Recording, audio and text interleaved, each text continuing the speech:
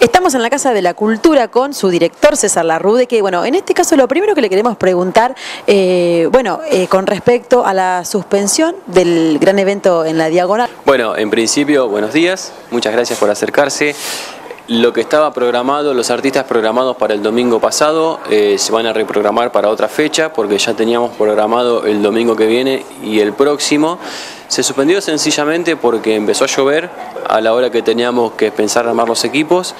Eh, el pronóstico decía que iba a seguir lloviendo y bueno, finalmente no llovió, pero nada nos podía garantizar que no vaya a suceder, las condiciones este, no estaban dadas, el cielo estaba negro, había tormenta, había alerta meteorológico a corto plazo, estaban todas las condiciones dadas para suspender, eh, el piso estaba mojado, conectar este, equipos electrónicos al suelo mojado eh, trae riesgo de choque eléctrico para los artistas y para los espectadores, por lo tanto tomamos la decisión de, suspender la fecha, pero sí continúa el domingo que viene y el domingo primero de marzo.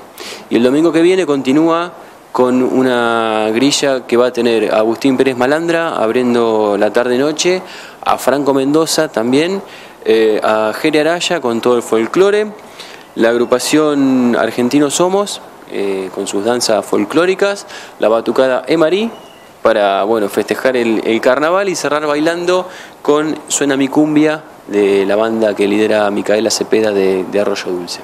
Bueno, impresionante, además de que obviamente se sobreentiende que por cuestiones climáticas se haya suspendido, pero es una buena noticia que se reprogramen esos mismos artistas para otro momento. Se van a reprogramar para Tal vez no música en la diagonal, pero sí para otros eventos, porque ya tenemos la programación este, definida y cerrada con los artistas y es también desprolijo para el que ya está programado y ya se armó para esa fecha tener que moverse, así que bueno, vamos a, continuar con la programación en otro momento.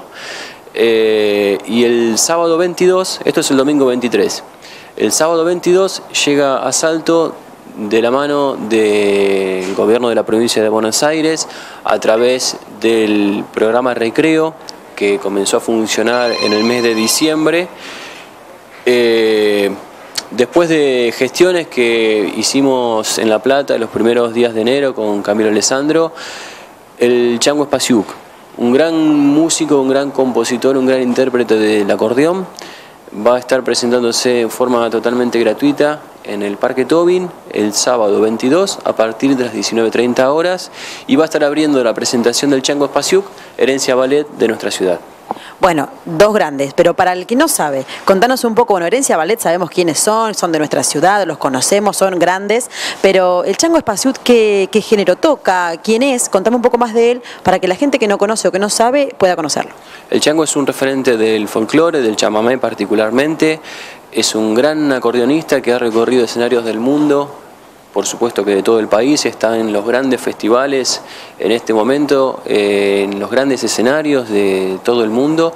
Eh, ha tenido ciclos exitosísimos en Canal Encuentro, en la televisión pública, conduciendo programas que hacen al, quehacer cultural y es una, de las grandes personalidades eh, este momento de la música nacional.